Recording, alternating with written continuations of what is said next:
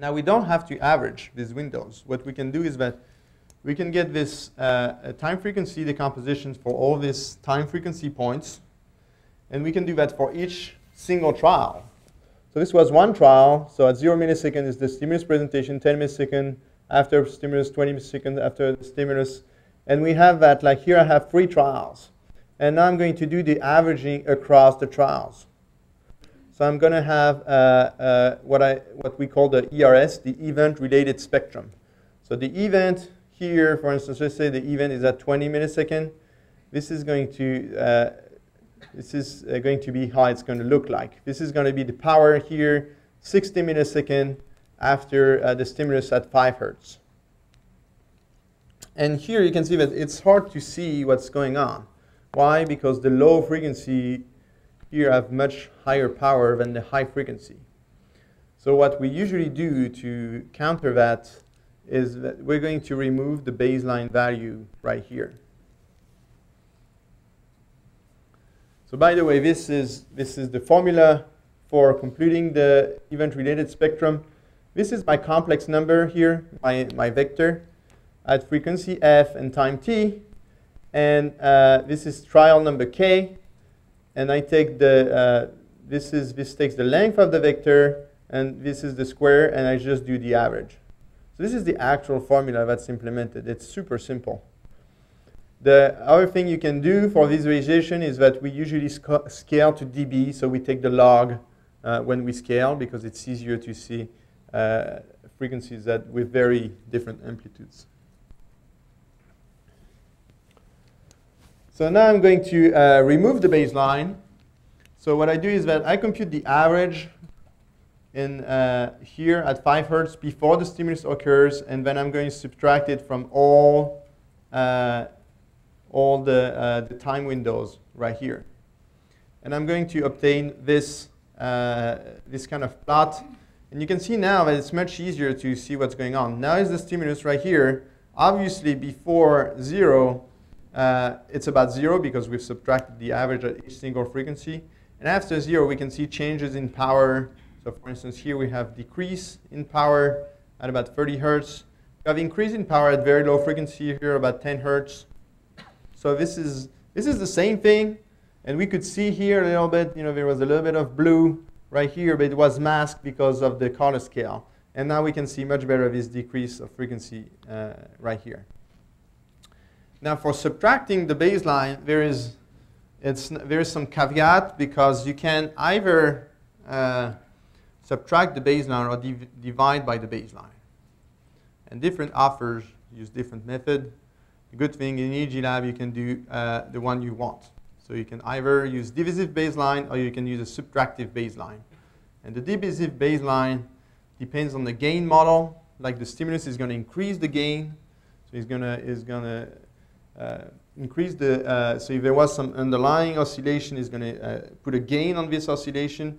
And the additive model is just going to, is going to, is going to add a fixed amount of uh, oscillation.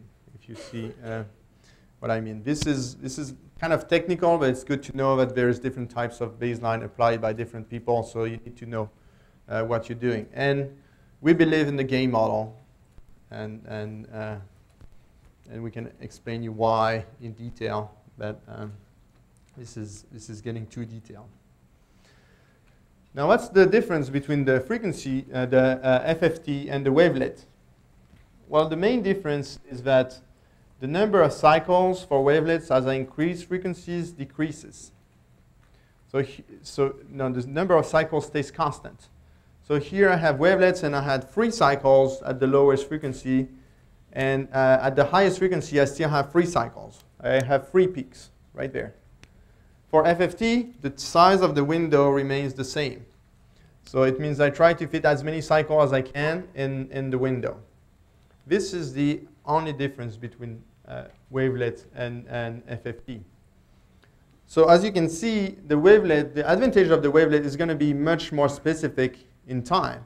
When you have this big window and you slide it, obviously your resolution for time at high frequency is going to be relatively poor. When you have this small here, this small wavelet, and you slide it in time, you're going to have relatively high uh, time resolution. but it comes at a cost. The cost is that the, uh, the time resolution is higher for wavelets, but it's the frequency resolution is lower for wavelets. Why is uh, that so? So here is our FFT, and here is uh, our wavelet. This is a signal, this is the idealized EEG signal with the exact same carrying frequency as the FFT and the wavelet. So they're perfectly aligned, so I'm going to convolve this signal by this signal, so multiply every, every point here at the same latency and then sum over all the points, and here everything is positive, so I'm going to get a positive number right here. For wavelets, I'm going to do same thing. Again, we, I have the same carrier frequency, so it's the same thing, so I have a positive number. Now let's say I change the frequency of, uh, of my signal a little bit. So it's a little bit lower, so the center is still aligned, but now when I look uh, off here at the trails, they're not aligned anymore. So I'm going to have, I'm, here I'm, I'm going to multiply these two numbers. I'm going to get a positive number, but here they're opposite phase, so I'm going to get negative numbers. So this is going to be a positive number, and this is going to be uh, uh, close to zero because I have positive and negative numbers. For the wavelet, however, you can see that because the peaks are so close to each other, I'm still going to get positive numbers for all, uh, uh, all three peaks right here. So I'm going to, I'm going to, so here I'm less specific in terms of frequency. They both respond to the signal that has the perfect that's, that's the same carrying frequency as the wavelet or the FFT. But when we change the frequency, we make it lower, the FFT is going to be more selective uh, than the wavelet here. And same if you're too high frequency, here we have, I have misalignment on the trail, and here I don't have, uh, I have misalignment, but it's not that big.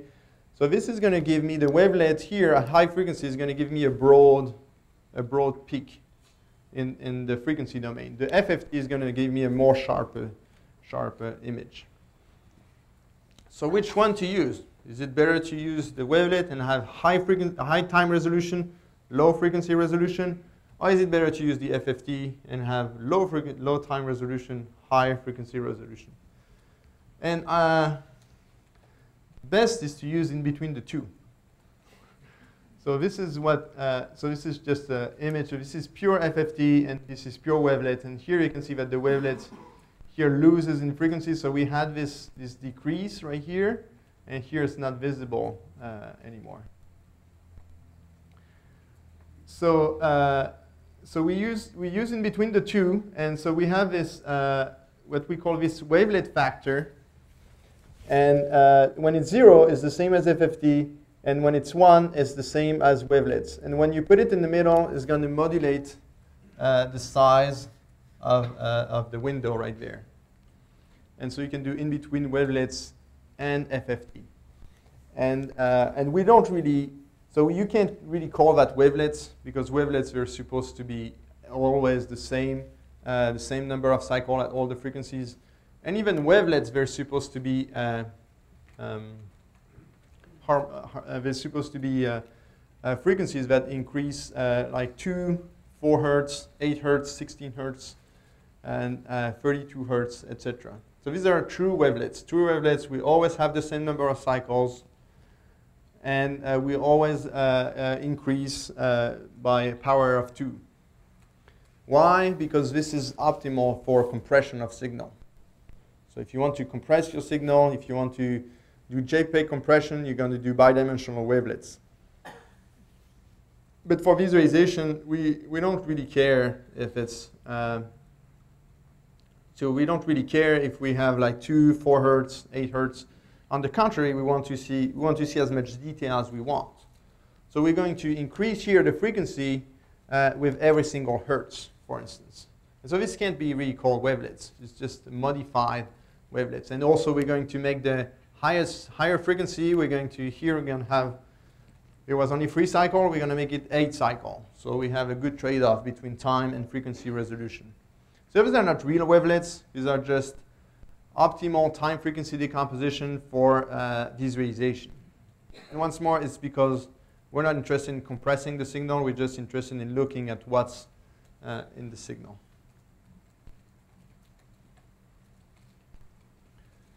This is so this is uh, uh, uh, the reason why you can have perfect time and frequency resolution. This is because of the lower bound to the Heisenberg products. So this is uh, some theorem in physics. But there is a lower bound to the uh, time and frequency resolution you can have. So you, you can have both at the same time. And this was the wavelet factor. So here 0 0.8, 0 0.5, 0 0.2. And in EEG actually, uh, and I'm going to show that in one of the next slides, you can, you can set your exact number of cycles at all the frequency. You can tell EEGLAB, I want 1, 2, 3, 4, 5, 6, 7 hertz, and I want 1, 2, 3, 4, 5, 6, 7 cycles if you want to. So you can specify the exact number of cycles at each frequency you're using. Or you can use this, this shortcut, which is the wavelet factor. And in a few slides, I'm going to show you the, my, my personal preferred method.